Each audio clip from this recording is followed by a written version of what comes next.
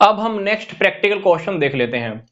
इसमें हमें current ratio given है 2.6 पॉइंट इज़ टू वन हमारे पास इन्वेंट्री का अमाउंट गिवन है 90,000 करंट एसेट्स गिवन है one lakh ninety five thousand और हमें क्या फाइंड आउट करना है? करंट रेशो हमें फाइंड आउट करना है। अब क्वेश्चन में ध्यान से देखिए।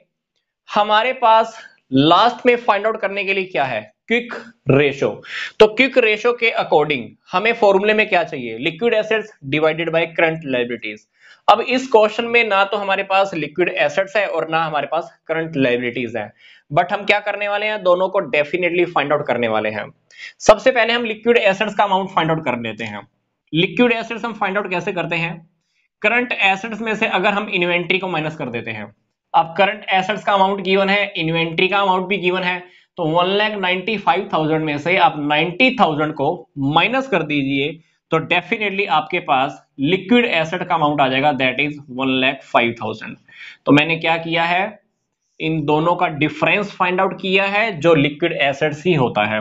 तो लिक्विड एसेट्स मेरे पास आ गई बट मेरे पास करंट लाइबिलिटीज अभी तक नहीं है। अब करंट लाइबिलिटीज को फाइंड आउट करने के लिए मैं क्या करने वाला हूँ? ध्यान से देखिए। अब क्वेश्चन में क्योंकि मेरे पास करंट एसेट्स का अमाउंट गिवन है, ये मैंने यहाँ पुट कर लिया।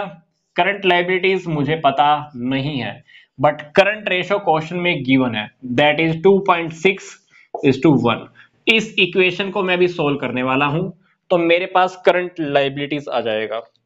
तो इसको आप जब आप सोल्व करेंगे तो आप देखना,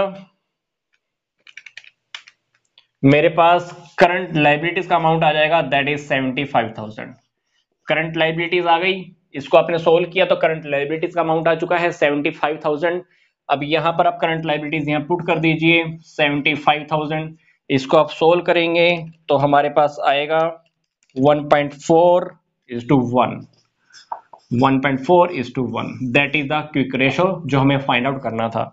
तो क्वेश्चन में हमने क्या किया? स्टेप बाय स्टेप क्या हम किया है? सबसे पहले मैंने देखा कि क्विक रेशो का फॉर्मूला क्या होता है? Liquid asset divided by current liabilities अब क्वेश्चन के अंदर हमारे पास दोनों आइटम गिवन नहीं थी। सबसे पहले मैंने क्या किया? लिक्विड एसेट्स को फाइंड आउट किया। लिक्विड एसेट्स मैंने कैसे फाइंड आउट की? करंट एसेट्स में से मैंने इन्वेंट्री को माइनस कर दिया। करंट एसेट में से मैंने इन्वेंट्री को माइनस किया तो मेरे पास आ गया एक लाख पाँच हज़ार बट मेरे पास करंट लाइबिलिटीज का अमाउंट नहीं था। तो करंट लाइबिलिटीज मैंने यहाँ से फाइंड आउट की। करंट एसेट्स गिवन थी करंट लाइबिलिटीज पता नहीं था।